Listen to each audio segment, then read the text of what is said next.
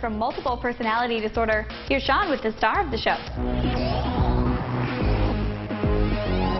Callum Shattered is a very intense show, and you play a big part in it, both as an actor and producer. So can you set up the show for me? The show is a procedural cop drama that one of the cops has uh, multiple personality disorder and is trying to hold on to his job, his family, and his life and his mind as he's still participating in solving crimes. Guys, take either end, meet in the middle, don't get shot. And how does this get into the way of him doing his day-to-day job? Day to day, um, in the first episode of the season, it shows up and creates a drama for his new partner. And on some occasions through the course of the season, there's moments where it's helpful and moments where it takes away from what he's doing and what they're trying to work together on. So, I mean, that's how it fits into the show. What are some of the challenges of playing a character with uh, multiple personality disorder?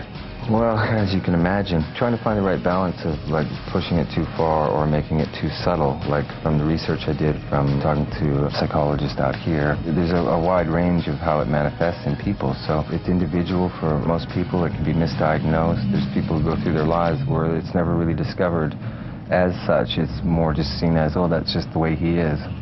And on, uh, you know, when it's really destructive is when you're blacking out and losing time completely. And that's what he's having is uh, missing chunks of time and part of his ability to discover and piece together what may have just happened in the last 10 minutes as he comes back around. Tell me again what happened. He fired first. I had no choice. What was it about Shattered that made you want to be a part of the show? I like the, the concept that it wasn't going to be a straight-ahead police show. I liked I was shooting in Vancouver. I like that I have a lot of people that I've worked with and, and appreciate their work uh, around me and get to work with them. That was a, a big draw. Although you are the lead character in the show and you play a lot of roles, so to speak, as that character, you also have a great supporting cast. So who are some of the people in Ben's world and how do they fit into it?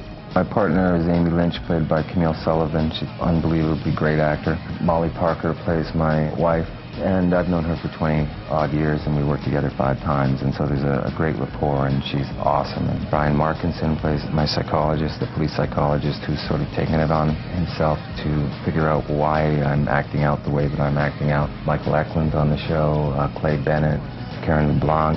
Martin Cummins, a really great old friend of mine, plays another detective, best friend, police officer.